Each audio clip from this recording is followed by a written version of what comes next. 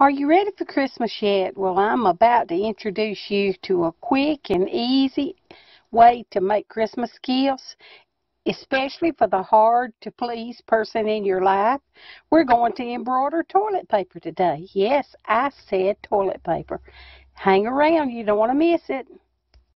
As you can see, I put my cutaway stabilizer in my 4x4 hoop and I have my roll of toilet tissue handy, and I'm fixing to roll it out and get it ready to embroider.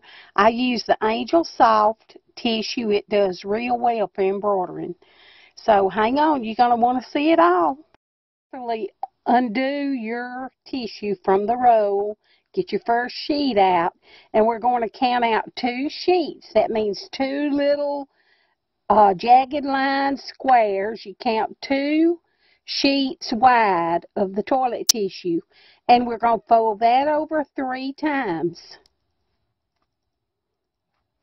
You can see I have my two sheets of tissue and I'm fixing to fold it over for the last one to make it three double sheets thick. Now we're ready to put it on the embroidery hoop in just a moment. Now here is your tricky part. You see the two little arrows on the hoop marking the center, the center lines? You want to lay your toilet tissue down in between those, but you want that line between the two sheets of your toilet tissue to go right down the center line where your arrows are. Oh, and before I forget, make sure that you put your tissue on there with the tape side down. Little trick I use, I put a little piece of scotch tissue down with the sticky side up. I just fold it over, make a loop, tape it to itself underneath, and then I put it down on the end, on this end. Well, I stuck to it and then I do it again on the other end. And that just helps to keep your tissue in place while it embroiders. But you can also use the sticky spray. I just find that this works best for me. So whichever suits you is what you'll need to do. I now have the tissue hooped in my hoop. As you can see the little dotted line on the tissue sheets is right in the center lining up with the arrows and you're centering your tissue. It doesn't quite go from one side to the other of the hoop, but that's okay. You can center it. I basically just judge mine, but if you're a perfectionist, I guess you can mark it. But anyway, I've got it I've got it hooped and now on the ends you will notice we've got a little bit of a fold over problem right here that could catch under the needles and what we want to do is we want to just fold this little fold over back and just kind of tuck it in so that it won't get caught up in your needles. As you can see, I now have it folded back. It's all tucked in, tidy and neat, ready to go. The other end is still running loose. You want to pull out several sheets of the tissue because you don't want to have any chance of it tearing with the movement of your machine. You want to give it plenty of room to move. So make sure that you do that and we're going to take it to the machine now and stitch our design. I now have my hoop attached to my machine. I have the tissue running over the arm and going down and I've got it several sheets pulled off so that it don't tangle up and tear the toilet tissue because that is not what we want. And now I'm going to stitch my design. And we're stitching.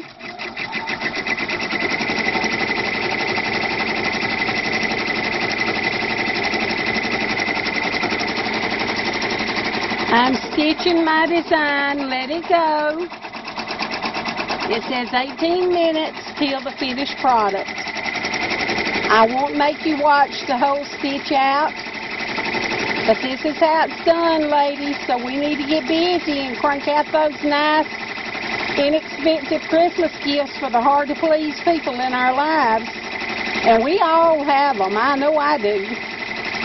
Uh, I think you'll be well pleased with them when you do them. I know it may seem a little scary, the idea of stitching on toilet tissue, but I absolutely love it. And I mean, if it messes up, you really don't have that much expense involved in it. So let's get stitching so we can have that wow factor when we give people their Christmas gifts. Or to take to the Secret Santa parties, which so many people love being a part of. I'll be back to show you the finished product. And here we have our finished stitch design. Now, who wouldn't love this little design? It is just so cute. I can't wait to see what it's going to look like when I get it bagged up and in its little, with its little bow decoration. It's going to be so cute. To unhoop, you will very carefully lift up this top piece of your hoop and pull it up. And then what you want to do is you want to grab your design, stabilizer and all, and you want to pull it through the hole in this piece of your hoop.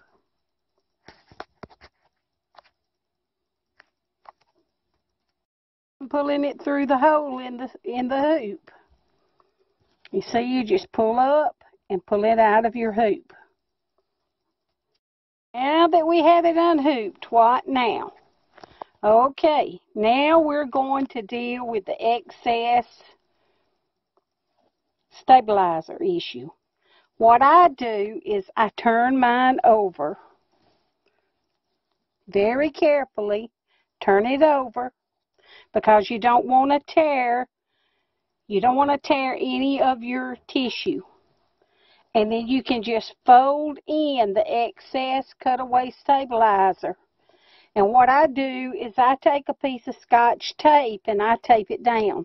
I usually just fold in both sides and just fold it in and let it meet together and just tape it down the middle and then trim off any excess on the ends. As you will notice, I have mine all taped down, taped together.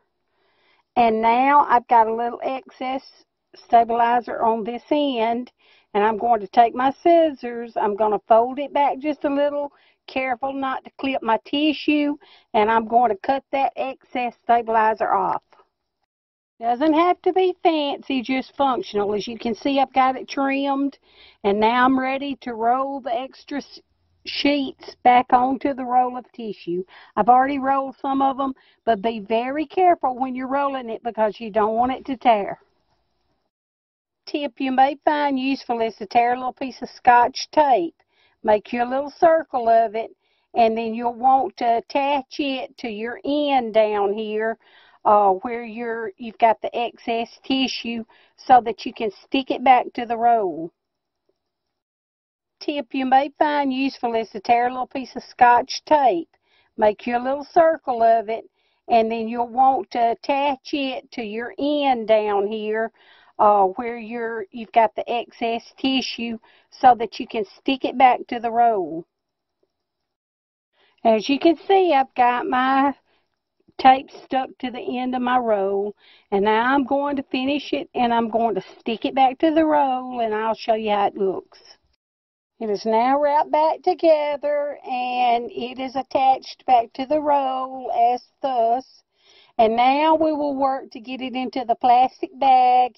I buy little bags at the Dollar General store. They're inexpensive and they're just the right size. They're the little treat bags, clear cellophane treat bags. And I find that they work re real, real well to bag these rolls of tissue in. It is kind of a tight squeeze and you'll have to work with it just a bit. But the end results is well worth the extra effort you put into it. How they look when you buy them at the Dollar General store. It says 25 clear treat bags with twist ties. I don't know that they came with twist ties, but I really don't find any use for the twist ties myself. Um, you can do as you wish on it, but I use ribbon to tie mine together, but anyway, they, these are really inexpensive little bags, and they're well worth your investment. As you can see, I told you it was a really tight fit. It is a very tight fit, kind of like putting me into a girdle. I'm sorry, but I mean a fat lady into a girdle. And some of you young people may not know what a girdle is. Well, it's a torture device that women use to try to make themselves look better.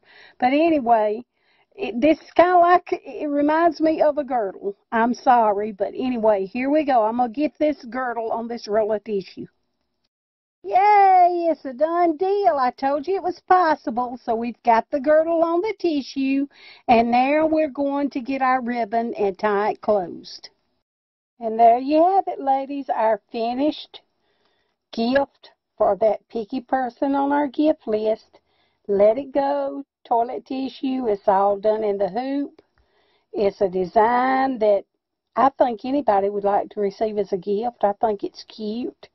It's really festive. It'll help decorate up your home for the holidays. So whether you decide to gift it or keep it yourself, check it out. It's available on appliqueangel.com. Thanks for watching.